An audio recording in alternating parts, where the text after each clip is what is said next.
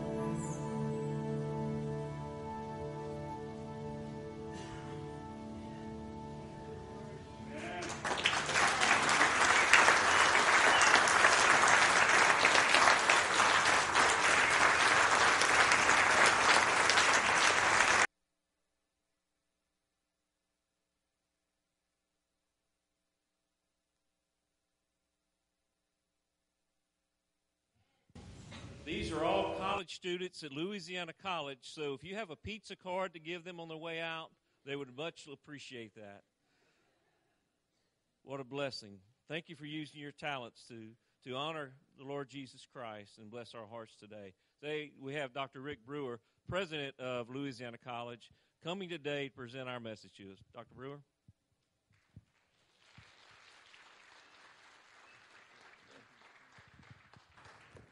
Well, it's great to be with you today. Trust you're doing well. And um, thank you, singers from the college, from Louisiana College. I tell you, that's, that's good, huh? I mean, that's. Uh, that about get a Baptist to shouting. Yeah? They didn't tell you where they're from. Now, they're from Houma, Walker, Lafayette, or as, uh, as she calls it, Walker. Is that the way you pronounce it right? Is that the right way? Close. And then uh, from Jena, and from Pineville, Alexandria, and let's see, Jordan, where are you from? Where? Prairie, Prairieville, okay. And Morgan City. Don't forget Morgan City. That's, that's right.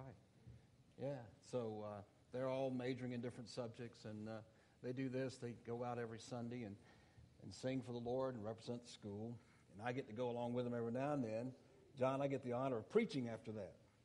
You know, been a couple churches where the pastors about fought me.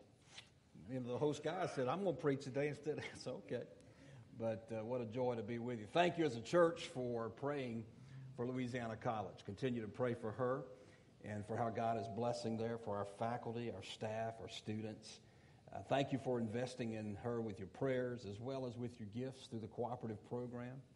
The gifts that we've been doing as Baptists since 1925, bringing our monies together for missional purposes at home and abroad. And let me tell you, Louisiana College is a mission field. I mean, our faculty, our staff, our coaches, our Christians, our professing Christians, they live out their faith.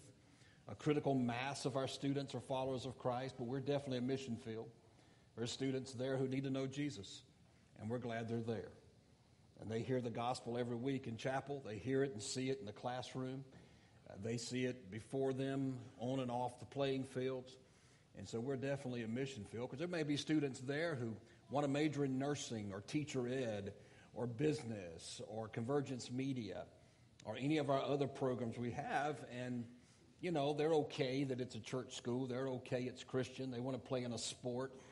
But uh, just like a couple weeks ago in chapel, seven students prayed, to, came forward in front of their peers and said they want to follow Jesus as their Lord and Savior. And so, you know, that's, that's why we're there. You know, sometimes I'll hear from people about maybe a student or two misbehave, and they'll go, I can't believe people do that at Christian college. I said, Well, have you checked out some of the behavior of the people in your church lately? I can't believe they do that either. But was that cutting too close there? Was that just a little too close? But you know, I mean, you know, people that don't know the Lord, uh, unregenerated people do what unregenerated people do. And so I'm glad they're with us and not some other place where they'll hear the gospel of Jesus and they'll learn about forgiveness. They'll learn about how He can give them a new life, a new start, and how He's the one who has wants to set their, their trajectory and give them a destiny. So thank you for supporting us, sending students our way. Continue to do that. I'd love to say that next year, this time, that we've got a young person singing in this group from Ville Platte. That'd be great, huh? So uh, you help us do that. And my, that, that, that opening group, your, your worship team, wow, they're not tremendous. That was awesome. I enjoyed that immensely. Um, we need a fiddle player, so. Uh, but uh, I guess that's violin, excuse me. But uh, anyway, it was good. It was good. You guys keep that up, okay? How many of you are Louisiana College alums? And all the others wish you were, okay? Um, how many of you have children that are? Yeah, I know some of you. And I know some met. No, good. And uh, so thank you. I, I've only been at the school. I'm in my second year as president.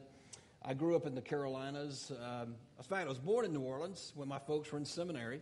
And then dad pastored churches in the Carolinas. Of course, I grew up as a PK, a preacher's kid. We have many PKs here today. We have a few PKs, some up here. Well, you know why the PKs, ever tell you how bad your kids are? You know why PKs are bad? I mean, I was bad. I was really bad. I mean, one night in church, I decided, it was back in the little, little church where they had the hardwood floor and the old pews. And I decided one Sunday night in church, I got bored. I was on the front row, and I decided I was going to crawl under the pews backwards all the way to the back. I just thought that was going to be fun, you know? I was about nine years old, and I got halfway there, and my dad stopped mid sermon and said, Rick, get your rear end back where it belongs. I'll deal with you later when we get home. But, uh, you know, so the, but the preacher's kids tend to be bad, and that's because we play with the deacon's kids. That's the whole problem.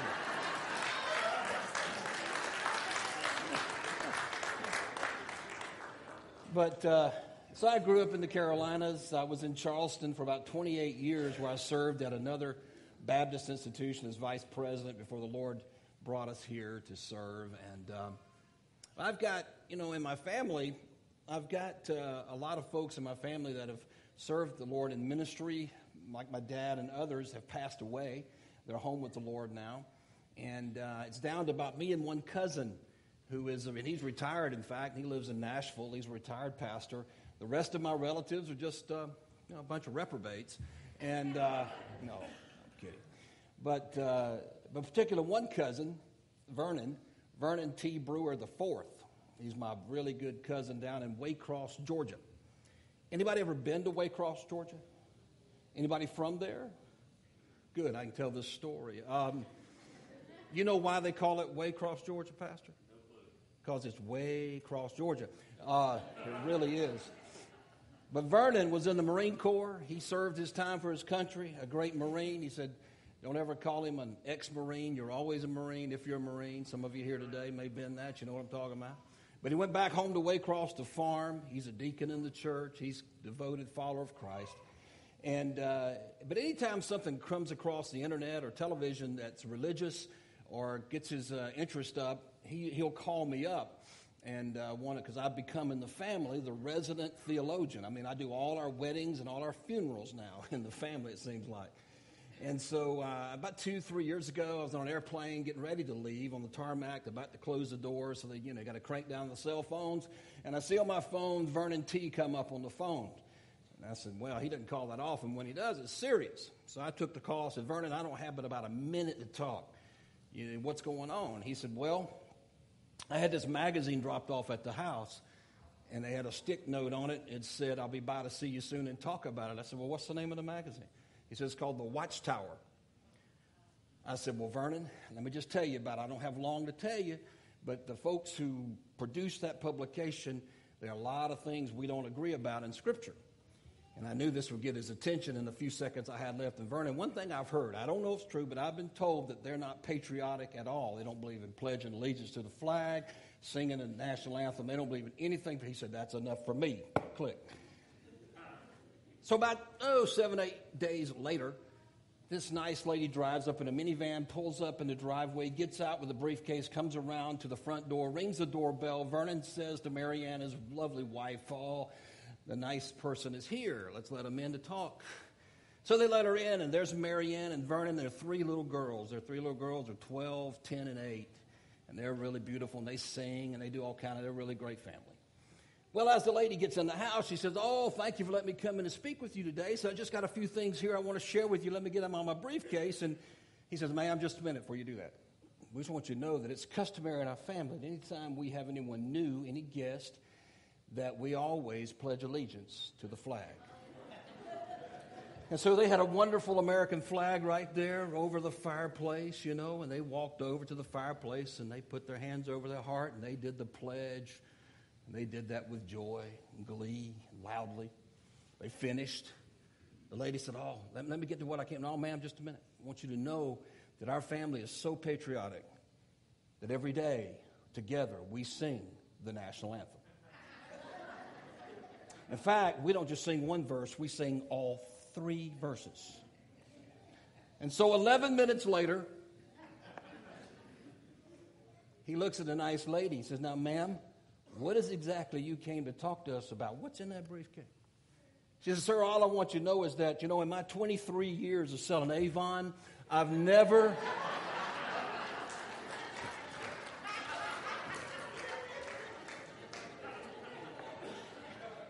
Never met a family as patriotic as this one, that's for sure. So, so Vernon, Vernon was ready. He just a wrong, wrong person, but he was ready. So, so pray, pray for cousin Vernon, would you?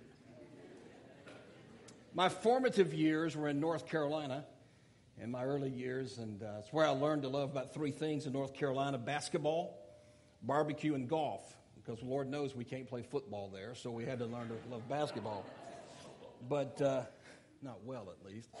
So, uh, but in the, in the seventh grade, back in the days of the junior high schools, I was in Lee County Junior High in the seventh grade. And they brought us all towards the end of the year and they, they would separate us, the guys in one place, the girls in the other. And they had these movies. We don't call them videos. We didn't know the word video back in those days. It was the old big old movie thing, and it would break in the middle, and the teacher would always have to splice it and tape it right in the middle. I know I'm giving my age away, but you know what I'm talking about. Was back in the day when they didn't have these old rock stars to give you all these slogans, and you didn't have all this fancy promo stuff about kids don't do this, don't do that. It was more in your face. We're going to get your attention. So the first movie they brought us in to see had to deal with the dangers of drinking alcohol. And so we're sitting there watching this movie. We're all about 13 years old. And in the movie, there's a party going on at some kid's house. And everybody's having a good time, jumping around, doing all the things they do at parties. And all of a sudden, one fella goes to the back room and he decides to invade his parents' case where they kept their alcohol. And so he's beginning to drink and drink and drink. He gets drunk. He gets sick. He passes out. They call the, you know, they call for help. An ambulance comes, picks him up. They take him to the hospital. They put tubes up his nose, needles in his veins. His mom and daddy come to the hospital and they cry. And we thought the moral of that story was don't ever drink, because if you do, they're going to stick tubes up your nose, needles in your veins. Your mom and daddy's going to cry.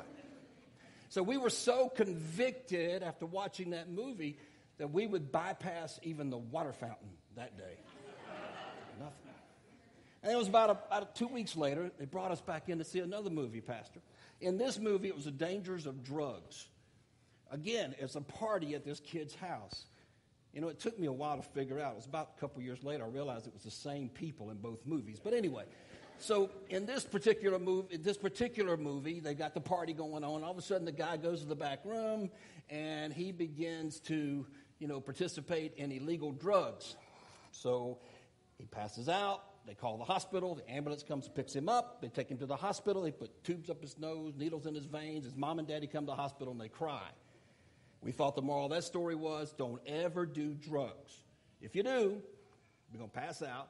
They're going to stick tubes up your nose, needles in your veins. Your mom and daddy going to cry.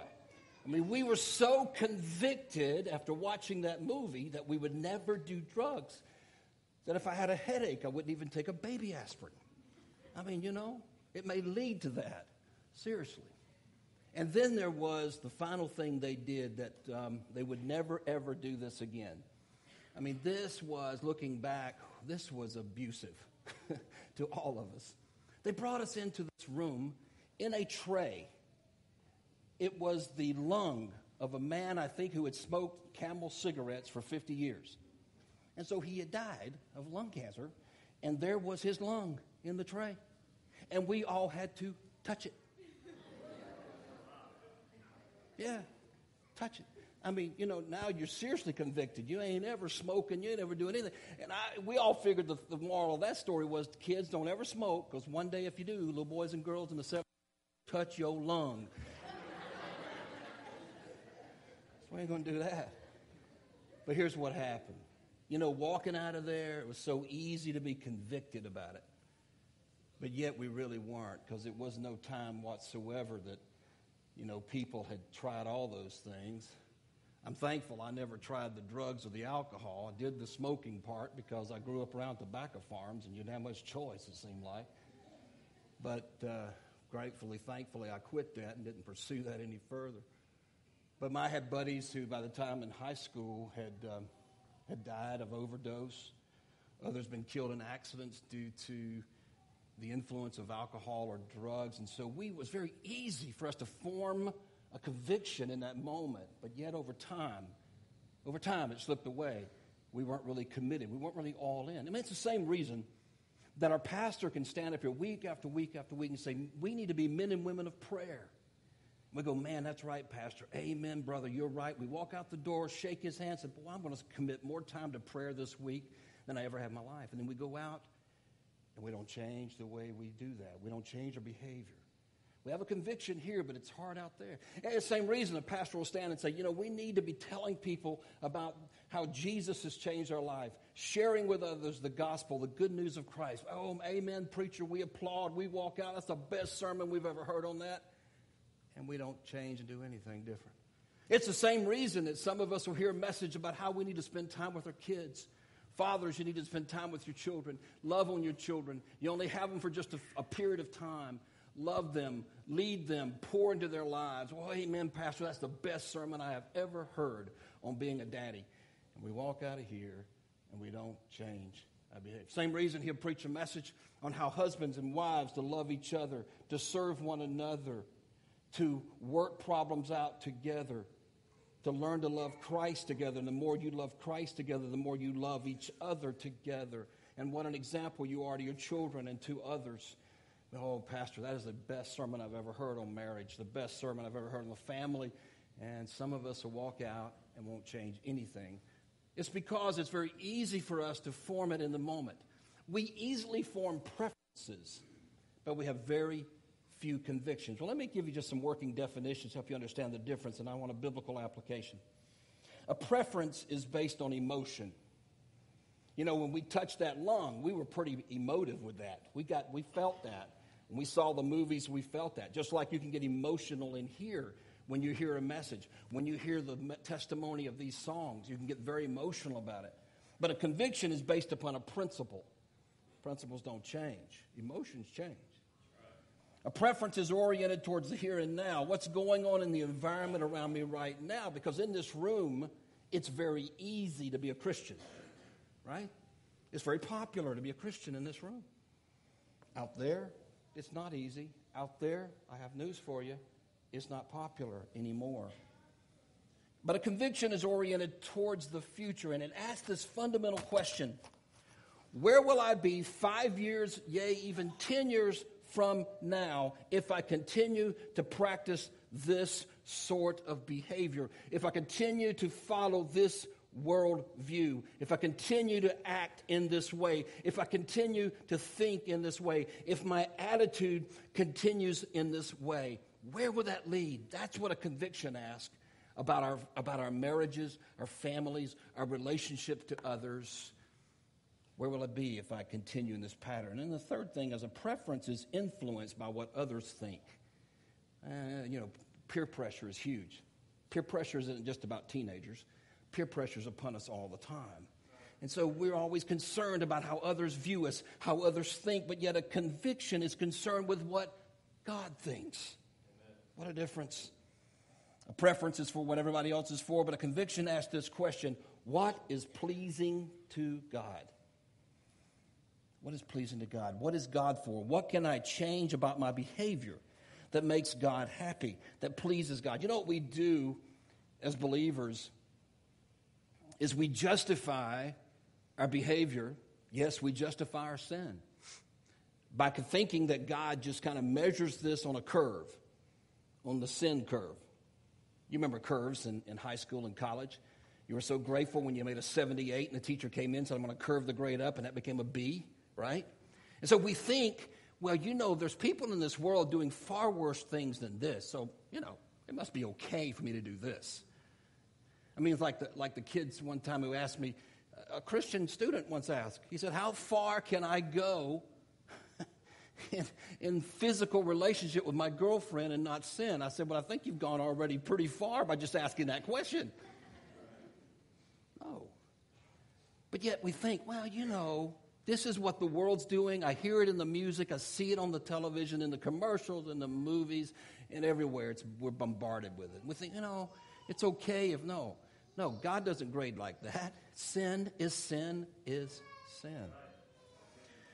A preference is abandoned for the sake of immediate pleasure. But a conviction is regarded as a means of attaining true success and joy.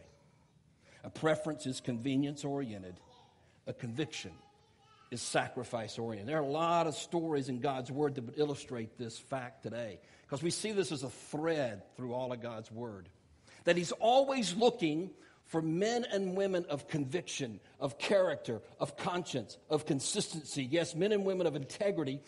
God raises those men and women to levels of influence in their world, in their culture, in their community, in their church, in their schools, in the marketplace. He, God, raises them to a level of influence. Why? To impact the world for the gospel of Jesus Christ. You see, I get that thing backwards.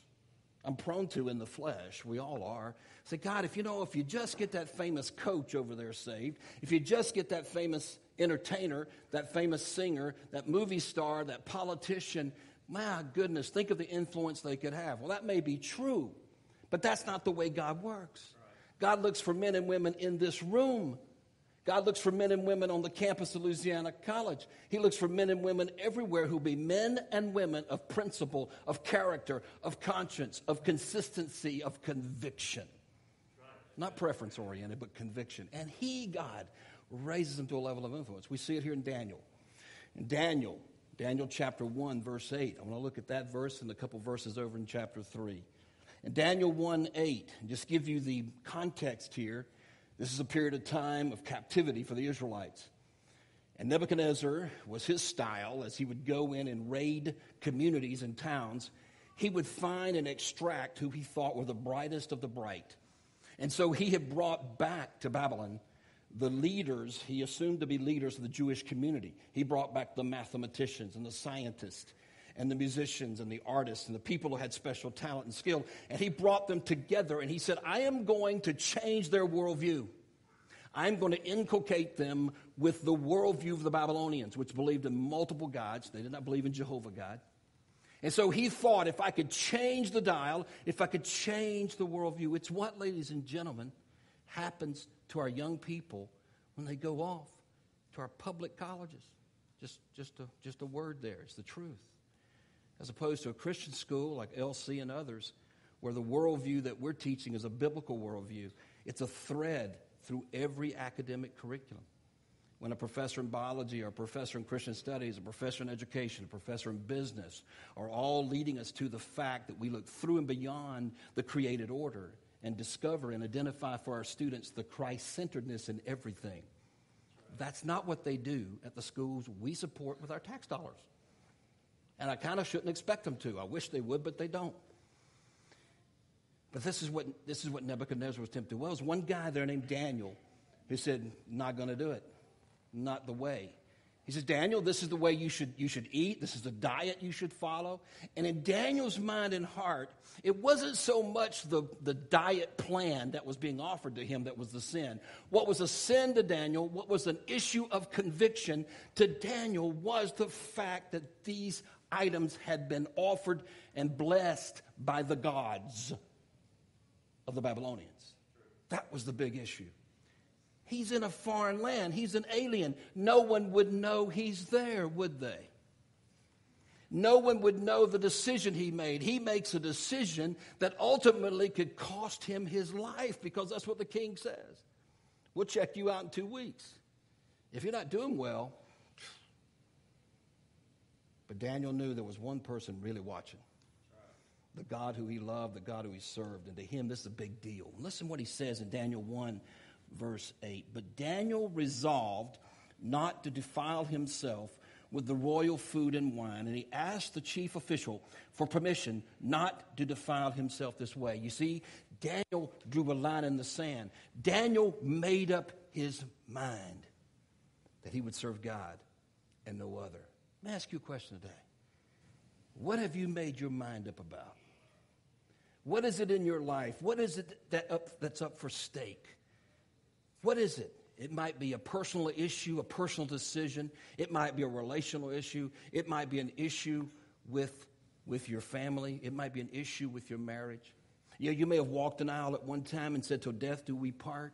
For good, for bad, for better, for worse. We're going to love, we're going to cherish, we're going to hold the fidelity of this family, of this marriage. And yet, maybe today, today is not like it once was. Today, you may be thinking, I don't love him or her anymore. And I'm looking for a way out. I mean, if 50% of the marriages that fall apart in America fall apart in our churches, and it mimics the same percentages as those that are unbelievers, we wonder why unbelievers aren't listening to the church anymore on some of the great moral issues of our day because we haven't modeled it.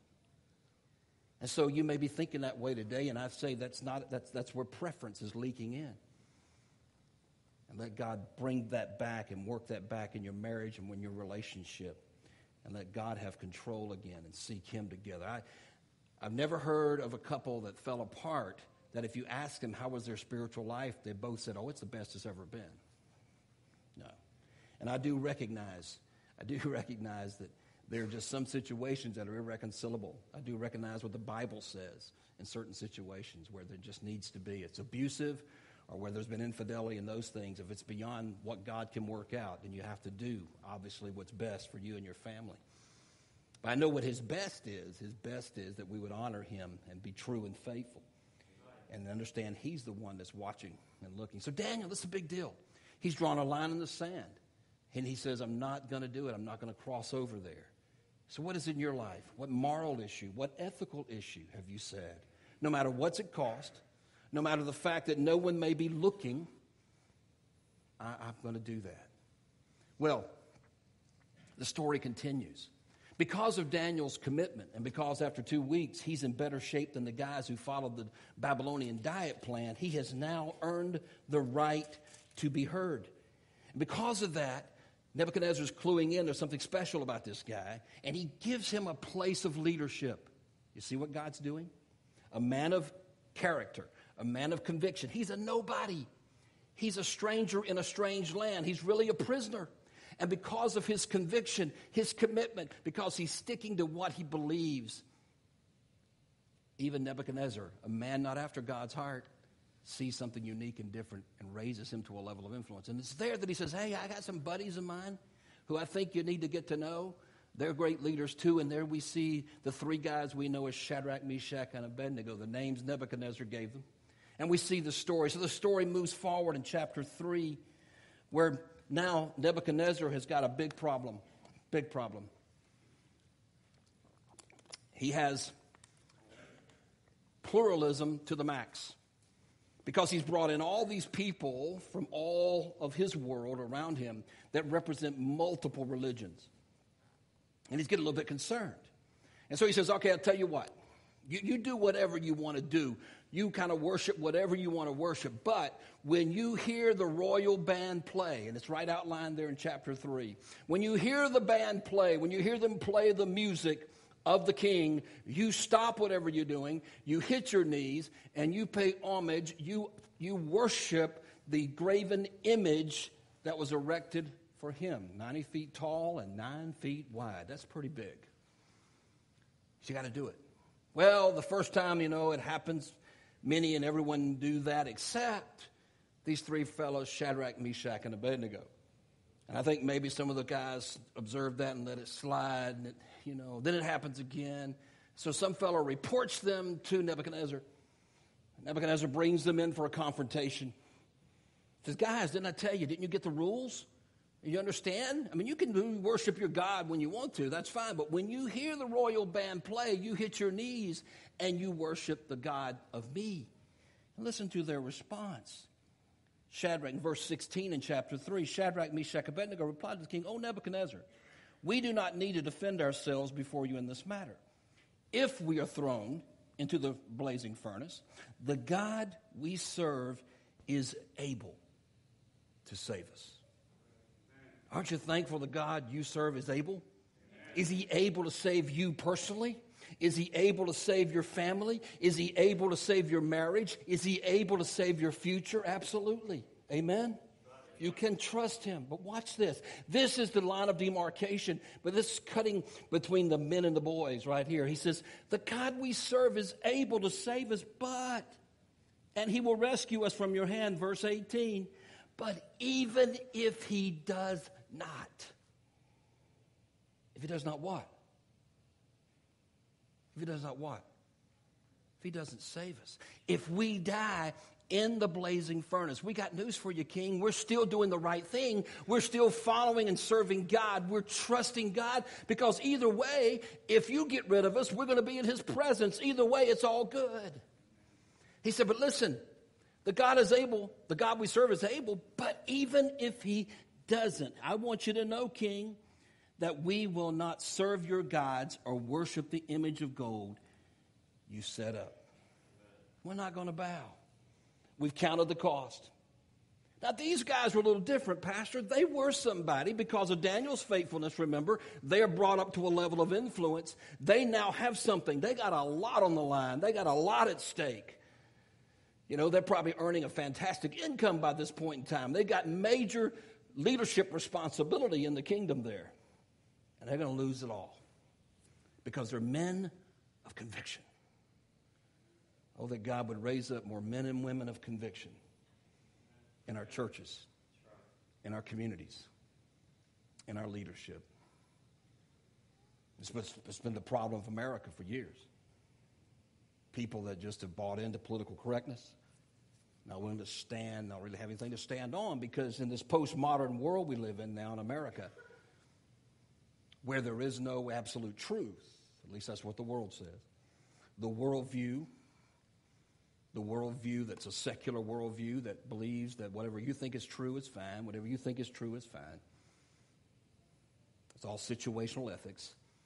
No objective truth, no transcendent truth, no moral truth, which has been the fiber that's held this country together since its founding. Oh, that we would come back to that. But here are men of conviction. They've counted the cost. And so they're thrown into the fiery furnace. It's so hot that even the guys that work for the king who toss them in are exhumed. And so the king's going down. Nebuchadnezzar's going down a little bit later. He wants to see how his, you know, char-grilled Hebrew boys look.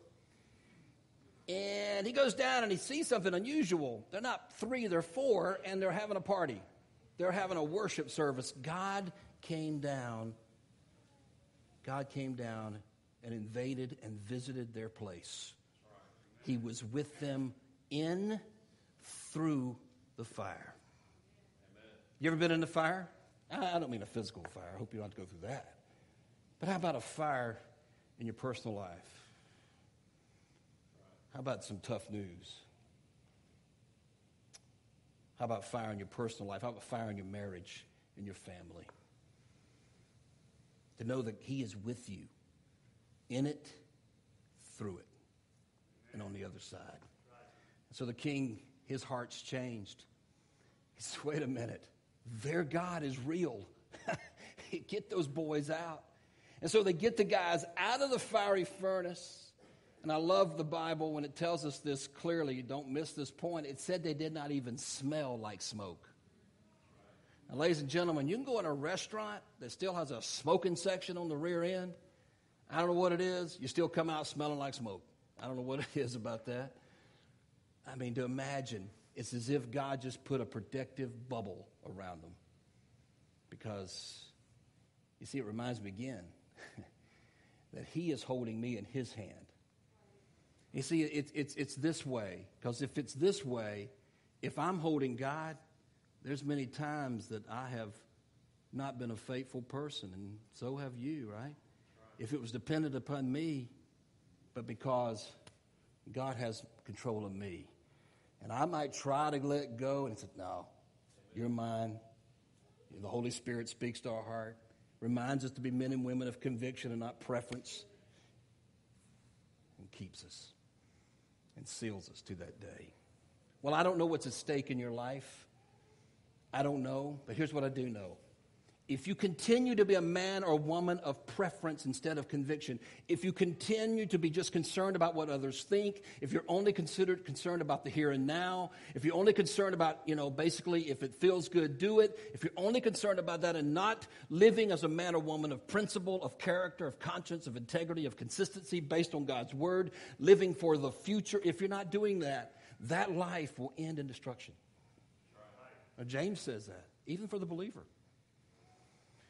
And if you don't, if you continue to be a man or woman of preference, it may cost you not only your life, but it may cost you your children. i tell you why. Listen, our kids will hear about living a life of conviction and character and, and all that in church, right? They'll hear about it here. They're definitely going to hear about it. They're going to hear about the good news of salvation here. But where they watched it lived out is at home. Where are they going to see a man or woman who says, I have counted the cost. I'm willing to sacrifice. I'm willing to serve God. I'm willing to do that which it may cost me, but yet I know it's what God intends to do. They'll hear about it here, they'll see it at home. And so if you continue to be a man or woman of preference, you may lose your kids. Well, that's terrible, but that's not the worst thing. And if you continue to be a man or woman of preference as opposed to a man or woman of conviction, you may lose your marriage. You may lose your spouse. Why? Because sure as God has a plan for your marriage, let me tell you who else has one Satan. Diabolos, deceiver, the slanderer. I, have conducted a lot of weddings through the years. I've worked with college students for 35 years, and so I've, I've had the opportunity to conduct a lot of weddings. You know, every time I conduct a wedding, I've conducted a lot of weddings of my former students and my own sons. I did their weddings. And in all those weddings, I've always said, there's nothing easier in this moment, in this place, than to say, I do and I will. It's, it's easy right now. You're expected to do it. Now, I've had a few guys, not girls, but I've had a few guys pass out. You know, I did one wedding where the old fellow was an offensive lineman, big fella, beautiful young lady. She laughed the whole way. He cried the whole way. I don't know what was going on, but they're still together. It's all good. But I said, you know, nothing easier than saying, I will, I do, forever and ever, amen. No, it's lived out out there. And I tell every one of them, Pastor, you have to decide every day when you get up, I want to be married. I want to be married. I want this to work. I want this to honor God.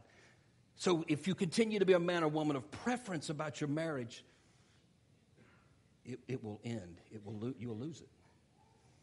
Well, that's bad. That's not the worst thing. Let me tell you the worst thing is this. The worst thing is that if we continue to be men and women of preference, as opposed to being men and women of conviction, we miss out on ever being fully used by God. And that's the worst thing that can happen. They did not know the future. They did not know the implications for the decisions they made. They did not know how God was going to change the trajectory of their lives. They did not know that today, some 2,000 plus years, we're still talking about them because there were a lot of men marched out of Jerusalem on that day and taken as strangers and prisoners to a far land, and we don't remember a single name. But we remember the name of these four because they were men of conviction men of character, men of conscience, men of integrity. And God used them. You don't know. I don't know. I don't know what's at stake in your life. I don't know what God wants to do in you, but I do know this that the minute I act as a man or woman of preference, I short circuit. I short circuit what God wants to do in my life. Who wants to go there? But beyond losing your children, losing your marriage, losing, that's the worst thing that could happen. You could miss out on ever being fully used of God because He has, as Paul says, He wants to do amazing things beyond we could ever imagine or think out there. He wants to do it. And He's just waiting on a man or woman. It doesn't matter your age, doesn't matter your abilities or whatever. He's just waiting on a man or woman to say, I want to be that man. I want to be that woman of conviction. I've counted the cost. I've drawn the line in the sand. I want to be that man or woman of integrity, consistency, character. And I'm available, God, for you to take me and place me. Levels of influence. You know, it might be influential in the workplace. Wouldn't that be great? Maybe levels of influence in your community. It may be levels of influence in politics. It may be levels of influence in education. My youngest son, who's a banker, he's, he's, uh, he's loved the Lord a long time. He, um, Jonathan has always had a heart, soft, tender heart for people. I always thought maybe God was going to call him to preach, and he still may. He's only he's 30, but he loves the, the business world and the banking world. And he was working for a large corporate bank about three or four years ago. And as corporate banks will do, they go through changes and transitions, and they decide to lay off a significant part of the workforce. He'd only been working for them for two years, the youngest junior banker there. He didn't lose his, his job, I think partly because he's you know, God was blessing him. He was walking in fellowship with the Lord, and he's a good worker. But he said, he called me up that day, said, Dad, it was just bad news here today. He said, it was interesting, Dad, that um, everybody in the bank who's being laid off came to see me and asked me to pray for them. And I know John doesn't go around as a banker carrying his Bible. Well, he does, because it's right there. It's right there. That's what will happen, folks. You living for Christ, You're living for Him, you be a man of conviction, a woman of conviction. you'll be the people be drawn to you. And oh, that you be there. We need salt. We need light everywhere. That's why I'm excited why I stay and have been in Christian higher education all these 30 plus years. Because what an amazing opportunity to equip young minds to be leaders in every culture shaping venue, to go out and be salt, to be light, to be able to transform culture and different cultures for the cause of Christ. That's our purpose, that's what we do. Let me pray with you this morning as we conclude. Lord, we thank you for your word, which never returns void. Thank you for this powerful example. Lord, this isn't made up. This isn't just a little story. This is truth. This is history. This is how you blessed, you showed up and showed out. How, Lord, you were able to change a world, change a worldview, change the heart of a king, change a culture. And Lord, you're just waiting on that one, two, three, four, five men or women, even in this room today, to say, I, have counted the cost. I know you're able to save, but even if you don't, God, even if for some reason you choose not, I'm not going to bow. I'm not going to compromise. I'm not going to be a man or woman of convenience and preference.